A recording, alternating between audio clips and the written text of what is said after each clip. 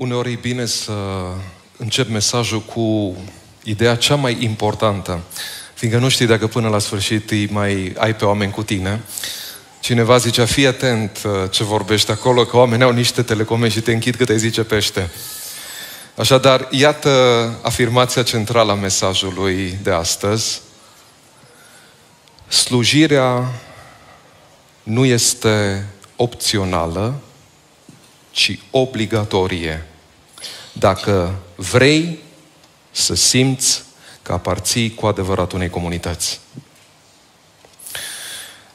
Toată luna septembrie este o provocare, o invitație pentru toți membrii VIA, pentru toți cei care ne urmăresc cu privire la ideea slujirii, a locului pe care îl avem în acest angrenaj, în această comunitate.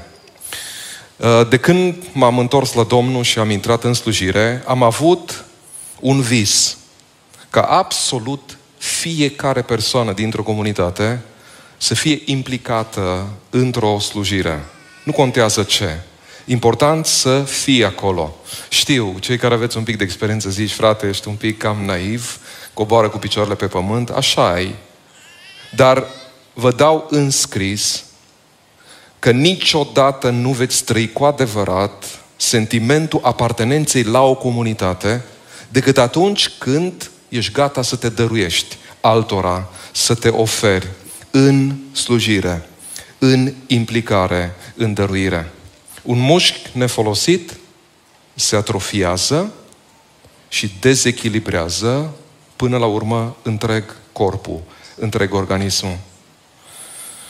Ce loc mai potrivit am putea găsi să începem invitația la slujire decât la frângerea pâinii? Mai ales că textul de astăzi ia naștere într-un astfel de context. Așadar, vă invit să urmăriți împreună cu mine în textul pe care îl aveți pe telefoanele dumneavoastră sau pe alte device-uri, din Ioan capitolul 13, de la versetul 1 la 17. Haideți să recitim cu atenție invitația lui Hristos de azi. Înainte de praznicul Paștelor, Isus, ca cel care știa că i-a sosit ceasul să plece din lumea aceasta și fiindcă iubea pe ai săi care erau în lume, i-a iubit până la capăt.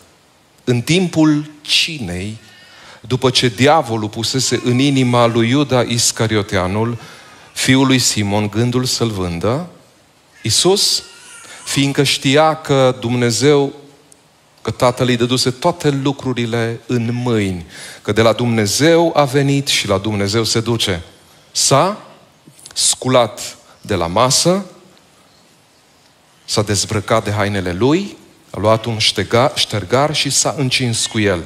Apoi a turnat apă într-un lighean și a început să spele picioarele ucenicilor săi și să le șteargă cu ștergarul care era încins. A venit deci la Simon Petru și Petru i-a zis, Doamne, cred că glumești. Tu să-mi speli mie picioarele? Iisus, drept răspuns, Iisus i-a zis, ce fac eu acum, tu nu pricepi, dar vei pricepe după aceea. Petru i-a zis, niciodată nu vei spăla picioarele. Dacă nu te spăl eu, nu vei avea parte deloc cu mine, i-a zis Hristos. Doamne, i-a zis Simon Petru, nu numai picioarele, ci și capul și mâinile. Iisus i-a zis, cine s-a scăldat, n-are trebuință să spele decât picioarele ca să fie curat de tot. Și voi sunteți curați, dar nu toți, căci știa pe cel ce avea să-l vândă, de aceea a zis, nu sunteți toți curați. Prima parte. Partea a doua. După ce le-a spălat picioarele și a luat hainele, s-a așezat iarăși la masă și le-a zis, înțelegeți voi ce v-am făcut eu. Voi mă numiți învățătorul și Domnul și bine ziceți, căci sunt. Deci dacă eu, Domnul și învățătorul vostru, v-am spălat picioarele, și voi sunteți datori să vă spălați picioarele unii altora, pentru că eu v-am dat un exemplu, pentru ca și voi să faceți cum am făcut eu. Adevărat, adevărat vă spun că sclavul nu este mai mare decât Domnul său. Oare? De câte ori nu-L contrazicem pe Hristos? Nici apostolul mai mare decât cel care l-a trimis. Dacă știți aceste lucruri, ferice de voi dacă le și faceți. Disciplina slujirii. Iată invitația zilei din acest text. Cuvintele care poate m-au iritat și m-au inspirat cel mai mult sunt cele pe care Bernardo Clairvaux ni le-a lăsat. Dacă vrei să faci lucrarea unui profet, nu ai nevoie de un sceptru, ci de o sapă. Sunt tulburătoare prin uh, modul brutal în care te duce cu picioarele pe pământ. Cu privire la slujire, prin felul în care ne accesează pe oricare dintre noi. Nu contează cine ești, nu contează ce faci, slujirea ta este importantă. Lucrurile mărunte contează. Efectiv, deschide o perspectivă nebănuită cu privire la ceea ce putem și la ceea ce suntem chemați să facem absolut fiecare dintre noi. Pentru a puncta mai bine locul din care cred eu că pornesc lucrurile, mă voi folosi de următoarea imagine.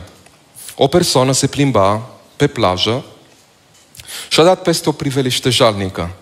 Mii de stele de mare, aruncate pe țărm de maree, se uscau și murau din cauza căldurii soarelui. Așa că omul s-a plecat, a luat câte una din aceste creaturi neputincioase și le-a aruncat înapoi în mare. Și la fiecare pas continua să facă acest exercițiu bizar, ciudat, până când cineva care era în spate l-a zărit și, nedumerit de ceea ce se întâmplă, l-a interogat și a zis, de ce faci asta? Încerc să salvez steaua de mare, răspunse omul. La auzul acestor cuvinte, celălalt început să râdă, râdă rotindu-și brațul și indicând miile de stele de mare care umpleau efectiv plaja. De ce îți pierzi vremea, a spus el cinic. E în zadar. Chiar în timp ce vorbea însă, omul nostru aruncă o altă stea de mare, a urmărit-o dispărând în valuri, după care s-a întors spunând, pentru ea nu a fost în zadar. Ăsta e lucru care lipsește slujirii noastre. Pentru ea sau pentru el niciodată nu a fost în zadar o slujire pe care ai făcut-o. Doi oameni diferiți se plimbau pe aceeași plajă. Au văzut două realități diferite și au avut parte de două seturi de reacții total diferite. Pentru unul a fost o pierdere de timp, pentru altul o ocazie de slujire. Unul vede neajunsurile, celălalt oportunitățile. Starea mental, emoțională a unuia este cinismul, iar a celuilalt exuberanța.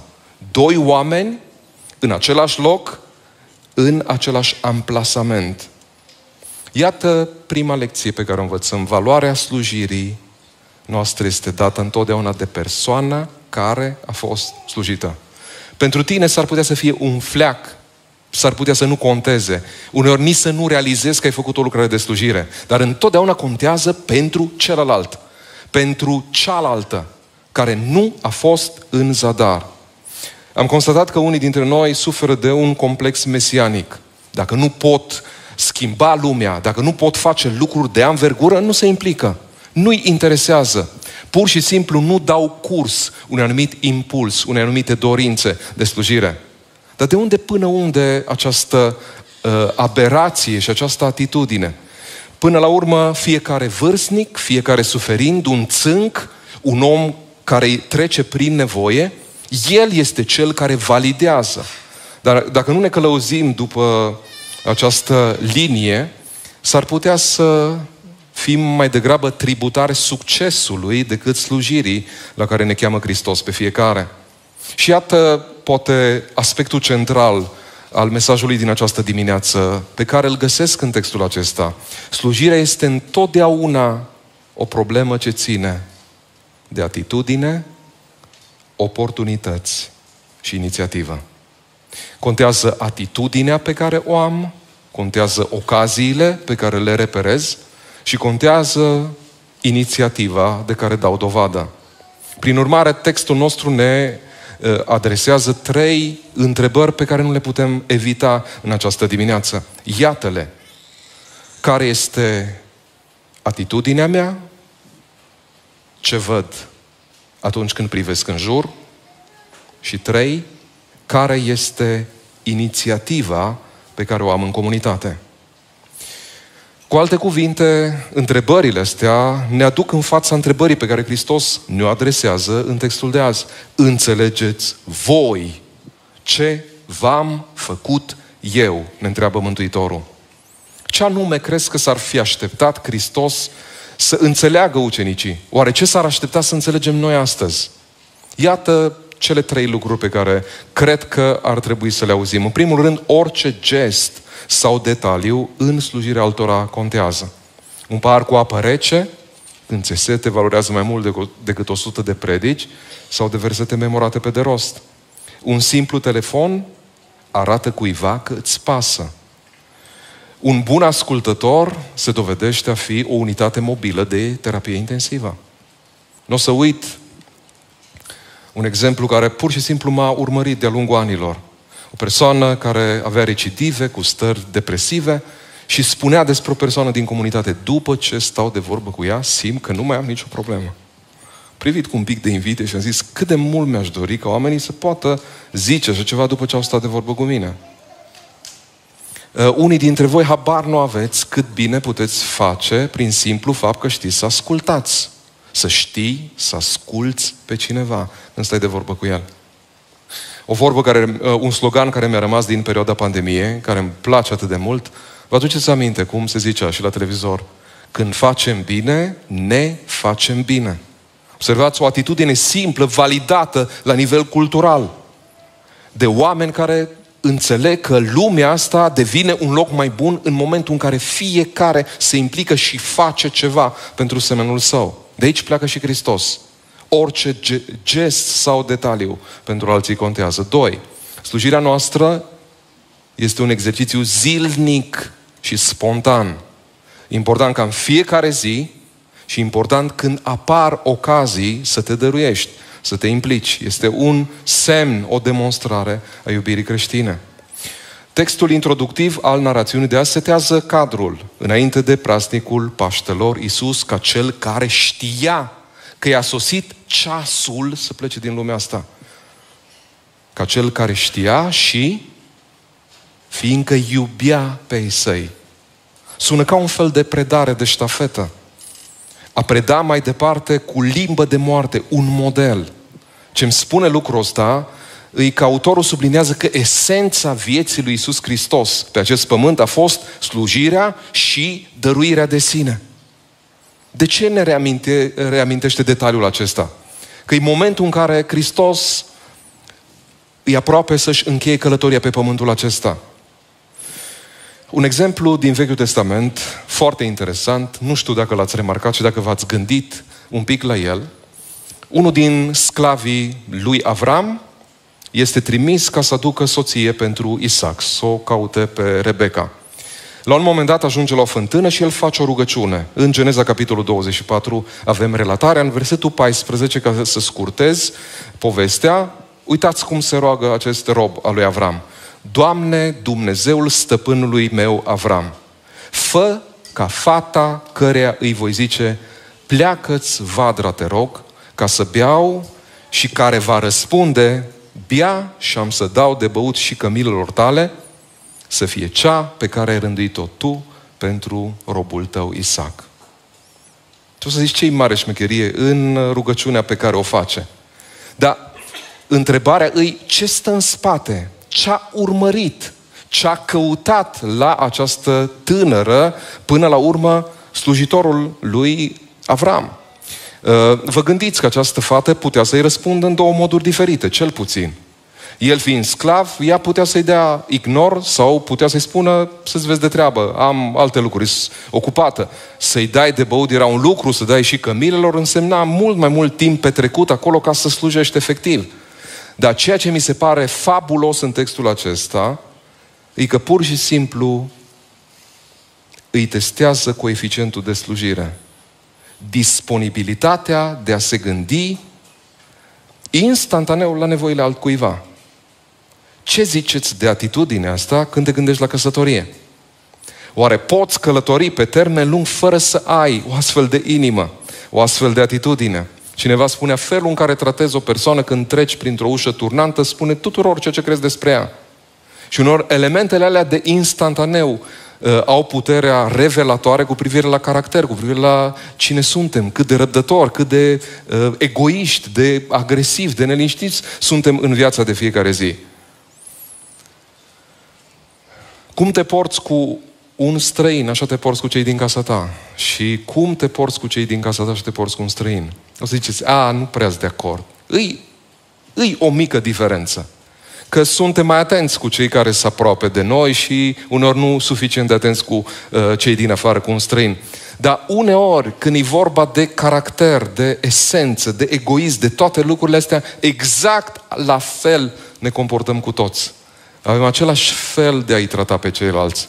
Dar în ce privește apropierea de Dumnezeu și privirea în interior de care s-a vorbit la cină, e absolut fenomenală în momente din astea instantanee. Atunci pui lupa pe tine și poți să-ți surprinzi un tipar comportamental pe care poți să îl șlefuiești și să-l schimbi în viața ta. Și pentru că ne împleticim efectiv când vine vorba de slujire, fiind atâtea nevoi, atâtea domenii în lumea care trăim, cred că ne ajută să jalonăm printre ele, conștientizând cele cinci domenii majore, fundamentale. Primul pe care îl pun în capul listei e familia. Apostolul Pavel spune în 1 Timotei, capitolul 5, cu versetul 8. Cine n-are grijă de ei lui și mai ales de cei din casa lui, să le de credință și mai rău decât un vameș. Punct! O să vă șocheze că n-am început cu biserica, deși invitația este la slujire în comunitate. Responsabilitatea numărul unu pentru un creștin este în casa lui. Și asta sună și la tineri. Le spun mereu la cateză, ce faci tu într-o săptămână pentru părinții tăi, pentru membrii familiei tale. Asta înseamnă slujire creștinească. Plus că Pavel spune, îi demonstrația cea mai clară a evlaviei. Să știi să răsplătești eforturile părinților tăi. M-am pocăit după ce mi s-a născut primul copil. Și am început să plâng atunci. Mă întreabă, cum a reușit neva, uh, mama uh, să crească cinci copii? Tot respectul din această lume. Familia, doi, biserica, să-ți găsești locul în comunitate. Unde te-a așezat Dumnezeu? Locul de muncă, școala, un alt domeniu de slujire. Cetatea, orașul în care Dumnezeu te-a așezat. Fiecare trebuie să simtă responsabilitatea pentru orașul în care a fost plantat ca să arate mai bine, să fie mai bine. Și nu în ultimul rând avem responsabilitate pentru, uh, pentru cosmos, pentru planeta unde ne-a așezat Dumnezeu. Indiferent unde afli în uh, colțurile acestei lumi, în concediu, o hârtie aruncată este la fel de periculoasă fie că e la tine în țară, fie că e în străinătate. Deși în străinătate mă îndoiesc că ne permitem așa ceva. Iată întrebarea crucială. Ce inițiativă săptămânală am pentru membrii familiei pentru cei din biserică, pentru colegi și așa mai departe. Nu știu dacă ai observat, dar de trei ori se repetă cuvântul știa. Știa că i-a sosit ceasul să plece, știa că tatăl îi dăduse toate lucrurile în mâini, știa cine este cel ce avea să-l vândă. Am auzit de nenumărate ori oameni care se plâng de neajunsuri, de scăpări în comunitate și le dau dreptate. Îs onest, nu ignor lucruri de genul ăsta. Dar uitați-vă ce face Hristos. Deși diavolul pusese în inima lui Simon, lui Iuda, fiul lui Simon, gândul să-l vândă, știa. E mult mai simplu să stai deoparte, să fii dezamăgit, să bași de vină, să fii paralizat de trădare și teamă, dar Isus alege să ne slujească în mijlocul falimentelor și a neajunsurilor noastre. Într-o mare de indiferență mă simt electrizat întotdeauna când văd un gest de slujire onestă, de dăruire. Oare este iubirea mea caracterizată de receptivitate și planificare? E important să fii receptiv când se zizezi o nevoie, Dar e important și să ai intenționalitate, să te gândești, să planifici anumite slujiri. Când mi-a fost testat ultima oară coeficientul de slujire? Când am fost pus ultima dată la încercare, în disponibilitate? Două cazuri revelatoare pentru mine din experiența pastorală care mi-au rămas emblematice. Nu o să uit, la un moment dat a venit cineva în fața comunității și a zis am ieșit la pensie, a fost întâmpinat cu zâmbete binevoitoare, după care a zis am hotărât, Dumnezeu mi-a pus pe inimă, ca tot a zecea zi să o dau zeceală cuiva din comunitate. Am timp, era priceput în reparații, în a lucra, lucrase în construcții, vreau să repar la femeile în vârstă, la oameni care nu pot, care au nevoie să mă anunțe tot a zecea zi. Am fost șocat. Era pentru prima dată când uh, auzeam ceva out of the box. Ceva de care nu mai auzisem în ce privește slujirea. Pentru prima dată am auzit o idee de genul ăsta. Un al doilea caz, într-o comunitate în Brașov, au scos la bătaie, tot așa probabil, la un început de an bisericesc, mai multe domenii de activitate în care oamenii se puteau implica. Și a venit cineva și a zis, să uita peste liste, nu mă regăsesc nicăieri. Uh, cred că aș fi fost deranjat de o astfel de atitudine, dar pastorul a avut prezentă de spirit, a zis, propune tu ceva, ce nu apare pe listă. Și atunci el s-a trezit și a zis, sunt expert contabil, sunt gata să ofer asistență financiară pro bono la oricine vrea să achiziționeze un împrumut, să își cumpere o casă și așa mai departe. Și am rămas șocat să văd două exemple, doar două exemple, care arată potențialul nebănuit pe care îl are orice comunitate. Orice detaliu contează. Și slujirea noastră este un exercițiu zilnic, spontan, al iubirii față de cei care ne înconjoară. Oare sunt un consumator de programe religioase sau simt cu adevărat că aparțin unui organism viu? Nu pot scăpa de cuvintele lui Dietrich Bonhoeffer, care spune legat de slujire așa, o comunitate care permite existența unor oameni nefolosiți se va destrăma din pricina lor. Poftim. Poate că nu se zice, zici, cum se poate așa ceva? Simplu. Doar angajamentul îți dă sentimentul împlinitor că ești viață, ești parte din trupul fantastic al lui Hristos. Neimplicarea îți creează o permanență frustrare și te debusolează, crezi că alții îți devină și chestia asta duce la acea deraiere și dezorientare care până la urmă te scoate, te face uh, un cauzator de probleme în anumite contexte. E incredibil câtă valoare atribuie Dietrich Bonhoeffer, deși a avut parte de o viață scurtă, slujirii în comunitatea în care Dumnezeu te-a așezat. Și trei, poate apogeul textului, slujirea umilă, dezinteresată, creează un climat pentru pocăință și vindecare. Cât de șocat a fost Petru și cât de șocat suntem noi de ceea ce face Hristos. Cum, Doamne? Cred că glumești. Acum, reacția lui, nu știu dacă te-ai întrebat vreodată, e o reacție corectă E o reacție bună, e o reacție spirituală sau e o reacție un pic problematică? Prin faptul că se și impune niciodată, așa cum făcea de obicei, nu vei spăla picioarele. Ei, dacă ne uităm, vedem că ce înțelege el mai târziu, înțelege după lebădare. Abia atunci se scutură de mândria ascunsă îmbrăcată în haina Evlaviei. Sunt șocat de dramatismul prin care trece maturizarea noastră în Hristos. Sunt convins că n-a acceptat pe momentul ăsta și ca să vedeți încărcătura în care Hristos spune cu voce tare și zice ă, știu, n-ai trebuință să speli decât picioarele ca să fii curat și voi sunteți curați, dar nu toți. Și lasă o ușă deschisă, o invitație ca să vorbească, să dea afară, să mărturisească lucrul acela periculos. Vedeți, lucrurile nu se întâmplă imediat, nu se întâmplă peste noapte. Există pierderi, există rateuri în comunitate.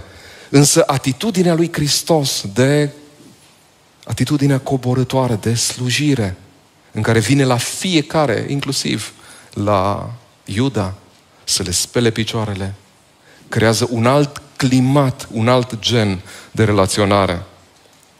Cât de culpabilă poate fi uneori spiritualitatea noastră uitându-ne la, la Petru. De câtă dedectivistică e nevoie în viața spirituală ca să se sizezi anumite lucruri corecte pe care le poți face cu motivații greșite, aspecte tainice care ar trebui să se întâmple în întâlnirea noastră cu Scriptura și cu Duhul lui Dumnezeu care ne vizitează. Slujirea umilă, dezinteresată, setează un cadru de acceptare și de răbdare cu oamenii. Oricât de mult ne-am dorit să-i vedem pe oameni transformați, Dumnezeu nu lucrează niciodată cu ei într-un cuptor cu microunde, ci la foc moale. Câteva interpretări posibile, sunt convins că ori de câte ori aș citit textul ăsta, mai ales dacă ați avut uh, parte de dialog cu cineva care are o altă opinie, ați ajuns la acea tensiune. Cum înțelegi? Ce vrea Hristos să transmite prin această practică a spălării picioarelor? Iată câteva interpretări pe care merită să le vizualizăm și să ne gândim pe unde ne aflăm fiecare. Unii spun că e o practică obligatorie asociată cu frângerea pâinii. Că ori de câte ori ești la momentul acesta, ar trebui să urmezi și practica aceasta. Alții spun că e o practică lăudabilă, oficiată în Joia Mare. Așa cum observăm că se face în comunitatea catolică. Călugării benedictini o folosesc ca un gest de ospitalitate și de iubire celor ce le calcă pragul. Ca semn de primire, de acceptare în sânul comunității. Și o altă interpretare, ca o imitare a spiritului și atitudinii lui Hristos, ce lărgește aria de aplicabilitate. Optez pentru ultima pentru că e mult mai largă și mai inclusivă. Nu e atât de exclusivă. Nu cred atât de mult că Iisus Hristos a insistat pe o practică și repetare ei, reiterare ei, cât pe un cadru de slujire care îți dă mult mai multe opțiuni și posibilități. Dar nu mă pot abține să nu-ți adresez o întrebare. Care e cel mai umilitor act de slujire pe care ai fost pus vreodată să-l faci? Pentru unii poate să-și ceară iertare. Foarte greu pentru o persoană mândră să uh, iasă la înaintare să-și ceară iertare celuilalt. Pentru alții, recunoașterea unui păcat ascuns față de un frate de-al tău pentru alții spălarea picioarelor în anumite cazuri. Poate să fie o slujire lipsită cumva de vizibilitate în comunitate, care nu are foarte mulți adepți și lista poate continua. Punem puncte, puncte, pentru că e important lucrurile care îți vin ție în minte, ales interesante de investigat. În, pe la anul 400 după Hristos, Severian de Gabala ne spune următoarele – cel ce cuprinde cerurile și norii s-a încins cu un ștergar. Cel care a turnat apele în râuri și în mări, a turnat apă într-un lighean. Și cel în fața căruia orice genunchi se va pleca în ceruri și pe pământ și sub pământ, a îngenunchiat să spele picioarele ucenicilor săi. No, te rog să te gândești. Ce scuză putem avea noi în această dimineață. Iată câteva sugestii practice spre care merită să aruncăm o privire. Cred că totul pleacă de la o rugăciune sinceră. Doamne, deschidem ochii și ajută-mă să simt pentru alții ceea ce simți Tu. Mă întreb cum ți-ar schimba relațiile la locul de muncă cu colegii sau cu echipa numai partea a doua a rugăciunii. Ajută-mă să simt pentru alții ceea ce simți tu. Cineva mi-a mărturisit la un moment dat că după o perioadă, după ce s-a rugat rugăciunea asta, a că nu se mai putea opri din plâns. Așa povară a lăsat Dumnezeu pe inima ei. Doi, ce inițiativă săptămânală am pentru membrii familiei sau pentru altcineva? Mai departe, scapă de complexul mesianic gândindu-te deocamdată la o singură persoană din biserică sau din afară pentru care poți face ceva. O singură persoană. Întreabă-te, ce pot face eu? Nu, dar la ce face acolo? Mai departe, tatonează ocaziile ce ți se oferă. Uneori, implicându-te pe termen scurt în diferite proiecte din comunitate care ți se oferă, asta mai ales dacă nu știi spre ce te trage inima ca să slujești într-o comunitate. Implicându-te în diferite proiecte, vei simți acel vibe, acea vibrație, să zici, ăsta e locul meu, asta vreau să fac. Și în felul ăsta poți să elimini alte lucruri care poate nu-ți aduc aceeași bucurie și împlinire. Mai departe, planifică o slujire discretă despre care să nu spui nici, nimănui, nici măcar soției sau soțului. E, asta e foarte greu de realizat și m-am testat personal. Știi ce ți se întâmplă în momentul în care ai făcut un bine? Simți nevoia instinctivă să vorbești despre lucrul ăsta. Și asta e o mare ispită. Testul e ca ceea ce facem să nu fie de ochii lumii, ci să fie din motivația corectă. Trei domenii pe care Hristos le taxează în predica de pe munte. Când te rogi, când faci milostenie, când postiți. Nu de ochii oamenilor, ci în privat. Ce potențial, ce forță incredibilă, ce spiritualitate diseminează Hristos în lumea asta, în rândul ucenicilor, prin Evanghelie, prin învățătura sa. Ce văd atunci când privesc în jur? Neajunsurile sau oportunitățile? Și o întrebare legată specific de comunitatea Via. Care este propunerea ta inedită? Dacă nu te regăsești în niciun alt domeniu și în duminicile viitoare sper vom putea oferi alte domenii în care să ne putem implica, care e propunerea ta inedită? Ceva nou pe care vrei să-l aduci în comunitate, în o an care ne stă înainte. Dacă mă urmărește ceva din atitudinea Mântuitorului când îi izgonește din templu pe oameni, relatarea din Ioan capitolul 2, nu știu ce ați fi văzut voi. Probabil că am fi sesizat nervii, mânia Mântuitorului, însă ei nu scăpau și au adus aminte de un text din Vechiul Testament și spun ucenicii lui și au adus aminte ce este scris. Râvna pentru casa ta mă consumă pe mine. Dacă vrei să iei pulsul Mântuitorului, pentru ce ardea cu adevărat. Deși nu sunt un fan Liverpool, se ridică părul pe mine de fiecare dată când le aud imnul. You'll never walk alone. Încerc să mă gândesc la un meci. Pentru cei care sunt angajați, pentru fizioterapeuți, pentru spectatori, pentru fani, ce înseamnă să trăiești în această atmosferă, să setezi o astfel de paradigmă la nivel comunitar. Niciodată nu pășești singur în arena. Ce înseamnă pentru Amin, pentru Alara, pentru Sandra să aibă sentimentul ăsta? You never walk alone. Niciodată nu pășești singur, indiferent de lucrarea în care ești implicat, de slujirea la care simți că te cheamă Dumnezeu. Ce să mai zicem dacă ne mutăm un pic doar în evrei și vedem paradigma cosmică în care suntem așezați, înțelegem că e vorba de acest mesaj și noi, dar fiindcă suntem înconjurați cu un nor așa de mare de martori. E ciudat, fiindcă am văzut atâția oameni descurajați de lungul anilor cu privire la slujire. De cel mai mic impediment se dezamăgesc, dau, întorc spatele, nu se mai implică. Mi se pare incredibil să putem aduce acest mesaj în inimile noastre. Niciodată nu pășești singur în momentul în care te implici într-o slujire. Probabil că putem aduce lucrurile la final spre această concluzie binevoitoare.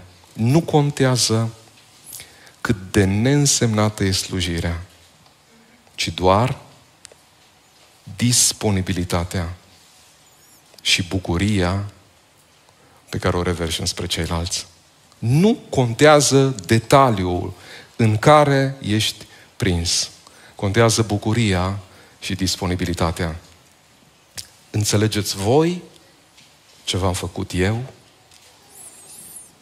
Orice gest sau detaliu în slujirea altora contează. Slujirea noastră este un exercițiu zilnic și spontan de iubire creștină. Și slujirea umilă, dezinteresată, setează un cadru de pocăință și vindecare.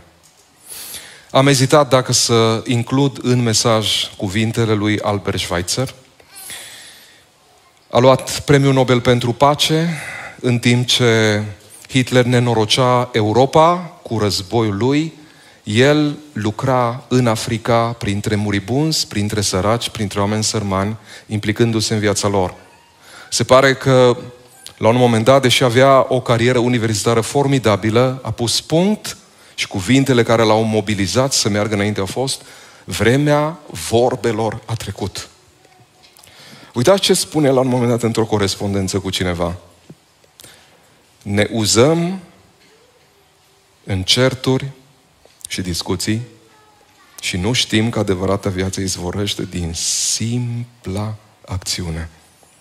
Atât de mult sfârșesc în mizeria indiferenței, pentru că de la început nu au avut această, îmi place expresia asta, întărire prin acțiune.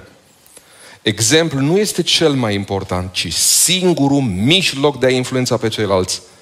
Atunci când vedem o persoană care încearcă în mod onest să-și ajute semenii, o nouă speranță se naște în noi. Adevărata etică sau morală începe acolo unde se termină folosirea cuvintelor. Vedeți ce lipsește creștinismului nostru, bisericilor noastre, comunităților noastre. Oare nu exact asta e fericirea cu care încheie Hristos? Dacă știți aceste lucruri, ferice de voi dacă le și faceți. Nu pot să nu închei exact cu cuvintele cu care am început. Slujirea nu este opțională, ci obligatorie. Dacă vrei să simți că aparții unei comunități. Haideți să plecăm în inimile noastre. Textul de azi are două părți. Gestul șocant și explicația sau încadrarea lui. Înțelegeți voi ce v-am făcut? Dacă stăpânul Universului s-a coborât la noi să ne slujească în mod umil și dezinteresat, ce scuză mai putem invoca noi? Textul de azi se încheie cu una din cele două fericiri ale Evangheliei după Ioan. Fericirea ireală a slujirii, fericirea radicală a încrederii. Dacă știți aceste lucruri, ferice de voi dacă le faceți. Cunoașterea validată prin slujirea altora. Care este atitudinea mea? Ce văd eu atunci când mă uit în jur? Și ce inițiativă am? Sclavul nu se crede mai mare decât stăpânul său. Nici apostolul mai mare decât cel care l-a trimis. Oare așa să fie? Gândul sacrificiului suprem și gândul trădării se întâlnesc la aceeași masă.